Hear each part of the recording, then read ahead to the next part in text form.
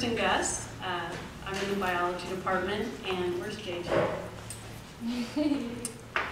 I feel really honored to be to participate in this event. So thank you. Um, so when I this is going to be a little JJ Love Fest moment for me. So, but you know, JJ remembers the pictures of the horses. Um, and when I think of JJ, JJ and I bonded over uh, our shared love of chickens. Um, because we use uh, chickens in my classes, and JJ has grew up on a farm, or My at least mom, my mom would like to think that. Oh my gosh. I and and um, I, okay. uh, Before I get into the JJ Love Fest, let me let me just say that that each one of us up here. So I'm just going to tell you, I feel very vulnerable because each one of us who's agreed to do this today, and the people who are playing the instruments in the corner, when you when you reveal when you when you reveal something about your process or your personality or your creativity, you make yourself vulnerable. And um, I and JJ, I guess when I feel like I really get to know people is when they make themselves vulnerable. And um, JJ was talking about chicken development in my class, and she talked about how she they they had these chickens and the eggs, and you have to turn the eggs, and like I feel like I really got to know her um, through that because she shared something personal with me. Um, and I guess I, um, JJ used the phrase "What's motivate? What motivates your do?" and I, and that's over there too. So I, I, I'm happy to see that I just didn't manufacture this. So I thought a lot about what motivates my do, um, and so I, I have, I actually came up as a result of preparing my comments for today. What my big, my big do's are. Um, stretch, challenge, balance, have fun. And so I hope that in, in taking the circuitous route through my comments, you'll see how I actually realize that as a result of putting these comments together. So at first when I agreed to do this event with JJ, I thought this is, okay, this is gonna be so easy. I'm just gonna talk about sources of inspiration. Um, but then I realized that when I do some formal speaking, of which I do a lot, I usually have some kind of a shield. I have, I mean, my favorite shield is biology. Um, so I have the topic for the, for, the, for the day's class, I have some topic to discuss in department meeting, I have this topic to discuss with friends, whatever it is. I have, I have some shield. But um, today, there's no shield, it's just me and my creative process. But I will, I will also add that I very much appreciate um, spinning a good yarn. So I, I actually don't like, I, I know that in class we call them lecture, but I'll just tell you that when I'm at home getting ready for class, I think, how can I spin this into a good yarn? So I see the value, the value of this. All right, so I still, I still needed to come up with something to say. Um, and so I, I thought a lot about what, what motivates my do, and then I thought, what, what do I actually do? What don't I do? And so I decided to tell you a little bit, starting, to tell you a little bit about what, what I actually do. So this is what's, these are the little do's that have led me to my big do's of stretch, challenge, balance, and have fun. So I just kind of kept track of what I do each day. So I try to get up early.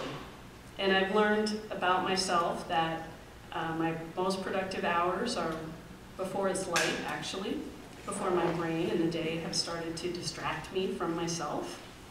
And I've learned this, I've learned this about myself. Um, but I'll tell you that this, this sounds very good, but it's not all fairy tales and unicorns. Um, I also do procrastinate. So I often have last minute prep to do for class, spinning that good yarn, or department meeting, or other campus responsibilities, or even to clear the surfaces in my home for my cleaning service. So that's right, I don't even clean my own house. I live in a yellow house on Elm Street that I love. I could clean my own house. I could do a good job. And I know this because I've earned money cleaning houses. But I've learned that I feel like my time at home is better spent um, doing something else. Um, I mean, I, I know the value of cleaning a dirty bathroom and making it clean, but I would rather spend my time just doing something else at home, whether it's getting ready for class or I like to putter, I find things on the curb, I clean them up, I put them in my house. I would describe my decorating style as curb cottage, mixed with cool scientific glassware and some maps and some scientific figures. Um, but these are kind of puttering things that relax my mind and help give me balance. So that's one of my, my big do's. I do run every day. I have been a lifelong athlete, and you'd be amazed at how hard it takes, it, it, how challenging it is for me to say that. It feels like it's bragging. But when I look at the data, um, I, for the, I'm 46 years old, and for the past 40 years, I've always had something that I do. It started with swimming.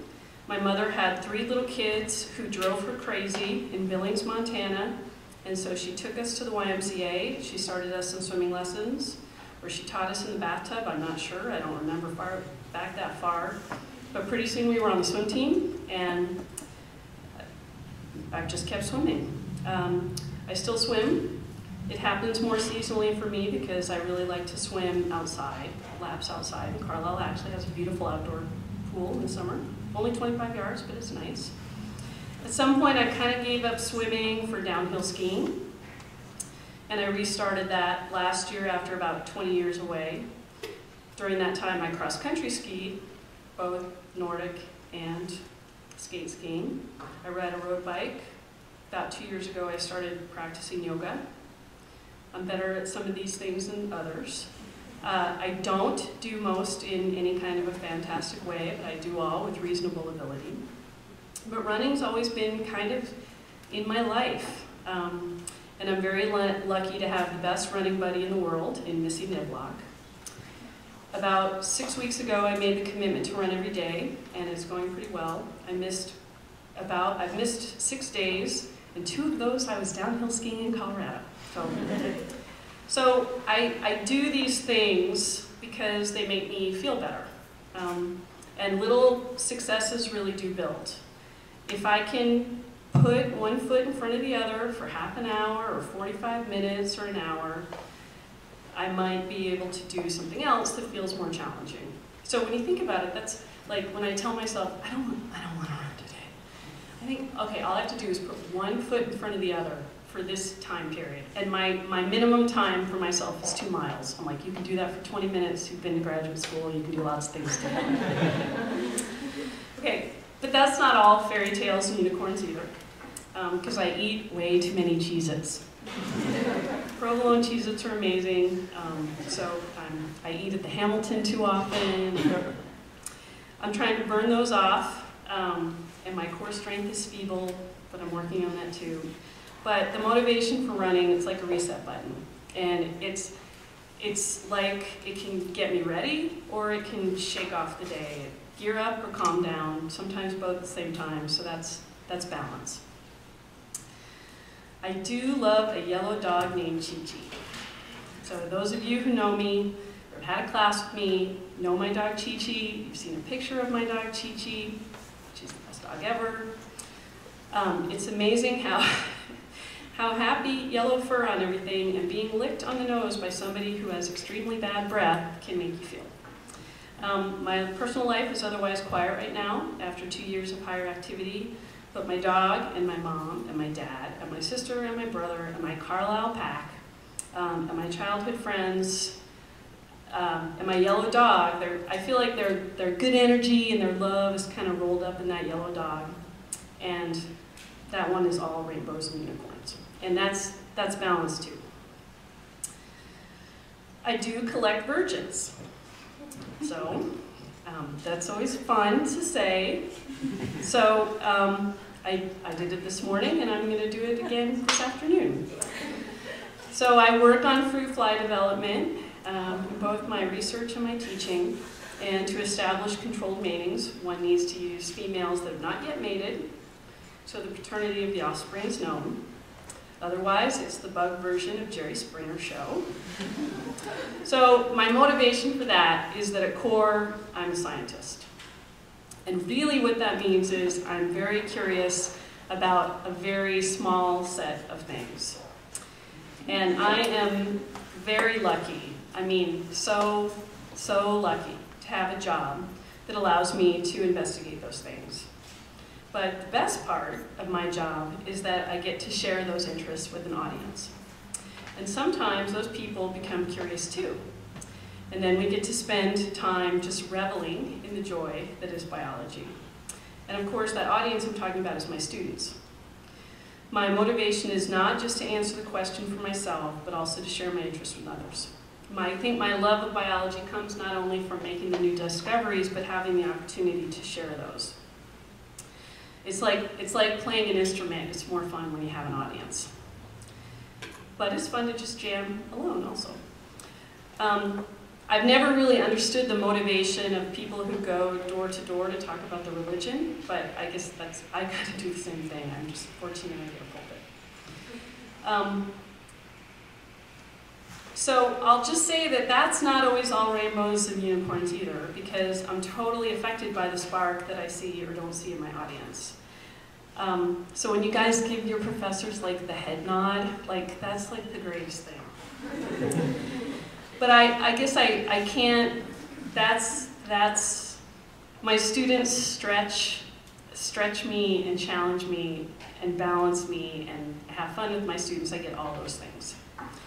But I'll, I'll tell you that, I'm, that, that there's parts of that, that that I'm not good at too, which is I'm not very good at keeping in touch outside of the classroom. I'm slow to respond to emails. I don't Facebook or LinkedIn. I don't tweet, but you can get me in my office. I'm, I'm all yours.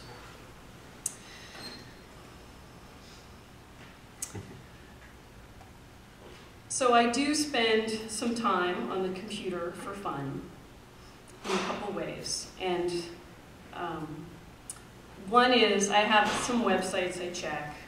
And one of them, one of my favorites, called apartmenttherapy.com. And it's about decorating your apartment. And of course, I don't live in an apartment. But what I've what I've learned is that I actually get a lot of balance by like doing stuff in my in my house with the curb cottage and the glassware and, and maps and so on. But what I really like about this website is that it's it's a collection of ideas and questions, and many of the topics resonate with me. Even if it's about somebody's one-room apartment in New York, I get something out of it for, for my life. And it's where I've learned actually a couple different phrases that I, I have actually put in my house. And one is, the state of your bed is the state of your head. Um, I guess there's data that if you make if you make your bed every day, you, it sets you off on a, a good day. And the other one is just just start, which I which I really like too. So the la so the last topic I'm going to talk about is is what else I, I view on my computer and how it's helped me to thinking about how I spend my time and what I do with my day help me come up with these with these big do's. Um, is that I will often, when I'm working, have something playing on Hulu or Netflix. I don't have cable at home because I love bad TV, and so not having cable helps limit limit me to watch that. But yeah, good bad TV. But um, one of the things I've, I, I, often have playing in my office on Netflix are, um, they're called 30 for 30, and they are um, ESPN movies. I just need to give you a little bit of background on this. So um, apparently ESPN Films, a number of years ago, gave 30 filmmakers the opportunity to to make documentaries about some aspect of sport that they found interesting. And I have like become obsessed with these 30 for 30. Any, anybody know what I'm talking about? If you, if you, if you don't, you should. You should get Netflix. Yeah, thank you. That's the head nod I'm looking for. Yeah.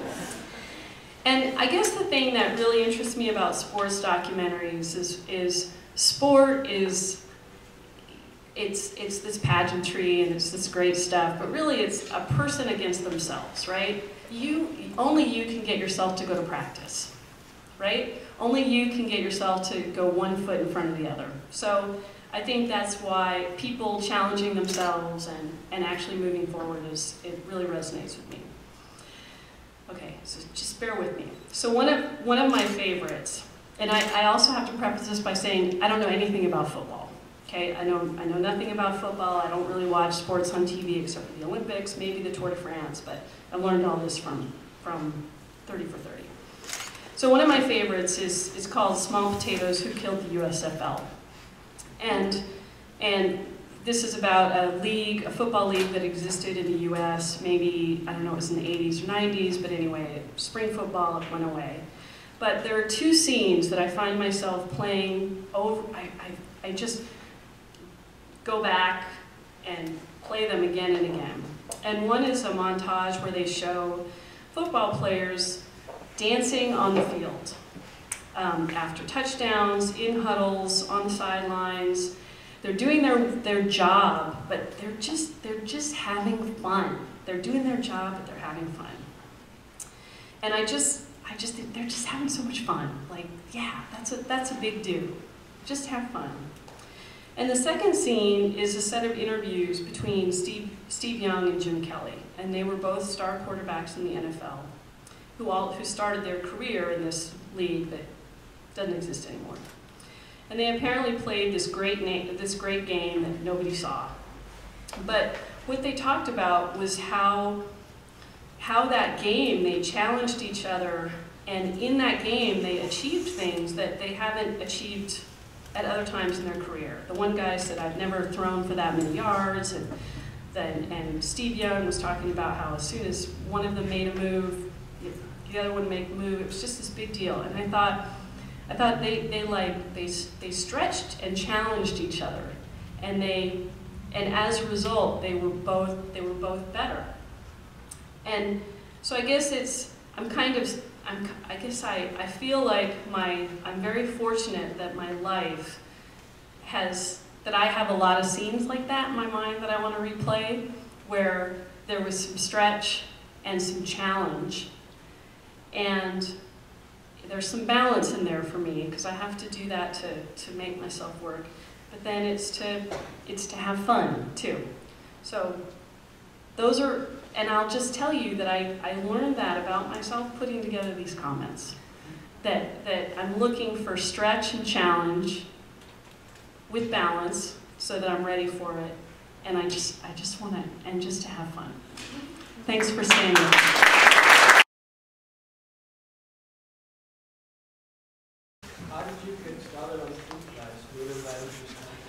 Say that one more time. Where does your where did your uh, interest in fruit flies? Where did that initially come from? So that so my interest in fruit flies came from being a graduate student studying sea urchin development. And I realized that I wanted to be able to examine the cells that I was looking at. I wanted to be able to understand those on a molecular basis. And so after you complete a PhD, you usually do a postdoctoral fellowship. And so I knew that I wanted to move into a model organism where I could do genetics. So I wrote to nine worm, worm labs and one fly lab. And I ended up in the fly lab.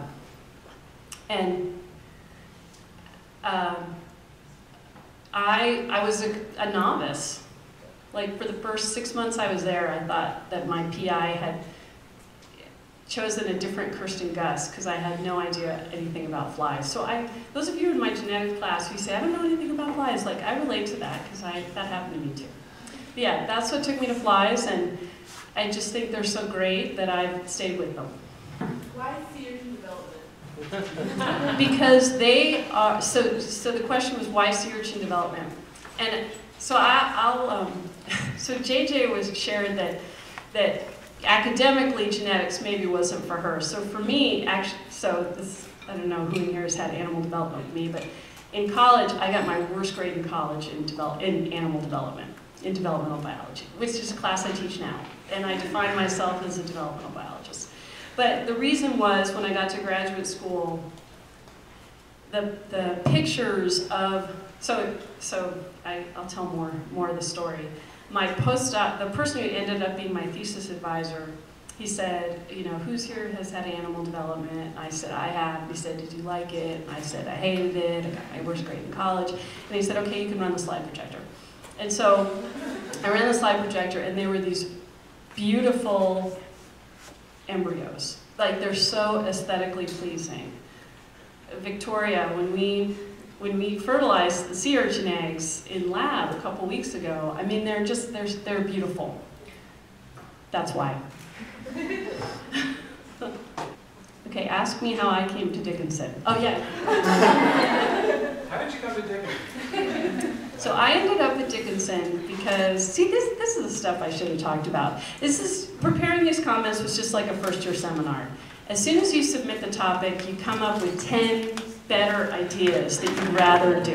So, but I just decided to go with it. So, um, I knew as a sophomore in college that I wanted to be a biology professor at a liberal arts college. And I had no idea what it took to do that, and I just kind of, I'm kind of an accidental biologist. I, did, I don't even really know how I ended up as a biology major in college, but I knew I wanted to be a college biology professor because cell biology just like rocked my world. I just thought it was the coolest thing, and hemoglobin. But anyway, I so I knew I wanted to be at a liberal arts college, and I um, when I saw the the job ad for Dickinson, so I yeah, this is really what I should have talked about actually. And my criteria for my job were I wanted it to be a place with good academic rigor with good cycling. Because I figured that the good academic rigor would mean I'd get the opportunity to work with and be inspired by amazing students. And the cycling would be a good um, example of access to the outdoors. Because I knew I didn't, I wanted to live in a small town. And so when I saw the job ad for Dickinson, I said, Carlisle, I bet, I bet that's pretty good around there. So I applied for the job. And when I came here, I it was like there was a pie and I was the missing piece. Like I just I just knew. But what really sold it for me was that at my seminar, so first of all, those of you in the biology department know that people go to our seminars, which I think is one of the coolest things at the biology department, that everyone goes to the seminars and a student asked me a question. They asked me if scallop was a Hox gene. And I was so, I was just so blown away by that. And it's just, um, and so I, you know, I get to, I get to be with you people all the time, which is the greatest thing. And so as soon as that happened, I was like, well, I guess I'm moving back to Pennsylvania. So yeah, that's how I, that's how I ended up at Dickinson. Yeah. I don't know if that was the question you were going to ask. You know, that actually became the answer, because what I was going to ask you, as you talked about chickens, is a chicken and an egg thing. And I don't know if this makes sense, but since all these people are starting off in a different place and two of us are here, do you think the motivation created the do, or the do created the motivation? Did the motivation create the do, or the, did the do create the motivation? I think for me, probably the, the oh, that's a good question. Because I'm, I don't know if this will link with what you're saying, but I, I guess, you know, I joke in my classes that I see the world as a big cell. Like I call my, my students back there the interactome because they're all related to each other. But, and I'm not sure if that, if that just happens to be this, if I'm like wired that way to see, I mean, I'm wired to see patterns. And is this just the, is just this just the context in which I see those patterns? Or if I, something different had happened in my life, would I still see patterns, but I'd be an architect, or I'd be, both my siblings are mechanical engineers, and so, you know, would I have been a mechanical engineer, or something would have happened differently, so I, I don't know. Um, you've kind of been touching on this note that um, the way, like the, um, the aesthetics of science is what attracts you to you, uh, what attracts you to science. Is there a way that you communicate that to your students or to people that are around you? That I communicate the aesthetics of That- science. That you kind of show that science, that science has a deeper meaning to you, to you personally than just, you know, the implications for, for humans. Other than just saying, "Oh my gosh, isn't that so beautiful?" yeah, that's a that's a good that's a good um, that's a good question. I don't I don't know. Do I? Do I do I build in the aesthetics of?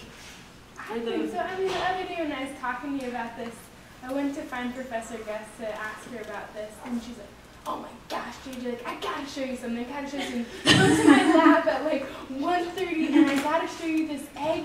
We cracked it open. There, it's one of your Twins, twins. twin embryos. Yeah. And so, you know, she's like, come by, you know, we, we finish around this time, and I go in, she, you know, takes off the cap and is just like looking at me to see my reaction. I Yeah. think like, and I think that I react that way because I had you as a professor, and seeing a professor like love something and see something, I think is is really powerful because you see that connection happening, and it.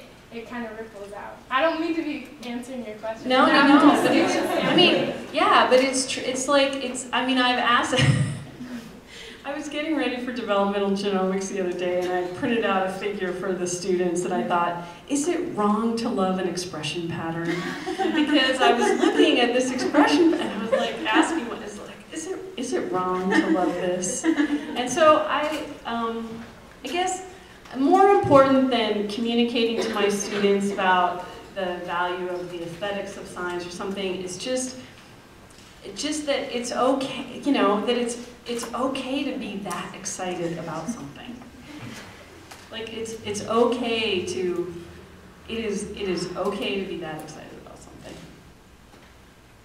Yeah. Um, you talked about shields. Um, yeah. Yeah, that's such an interesting way to put that. Do you feel that when you're standing in front of new students? And is there a way that students can break it? Yeah, so that's a that's a really good question, and I think I do I do break it. So like the pictures of the of the um, yeah. So the, I know there are moments in my classes where I where I will have presented something and I'll think, well, should I should I tell them what I really think about this, or should I? And I and I joke about it, and I call it um, pulling back the curtain of Oz, and and I think that I do I do do that a little bit, but not everyone's into that, and so it's like I guess I feel like it's a balance of how much to, um, you know, because honestly, some students just just want to know what's going to be on the exam, you know. So it's so it's a balance between like, can I put enough in there to satisfy those students, but the students who um, are going to understand what it's like to love an expression pattern or think an equation is beautiful are going to like they'll get something out of it too. I don't know. I just I just want stu- I just want you guys to trust yourselves. Like trust your own creativity, trust your own your like your own inner voice that wants to do something a little differently. Like I just want I just want you to trust that. So I guess I hope that that's what I guess, I guess I hope there's enough of that in there that the students will get that. Yeah.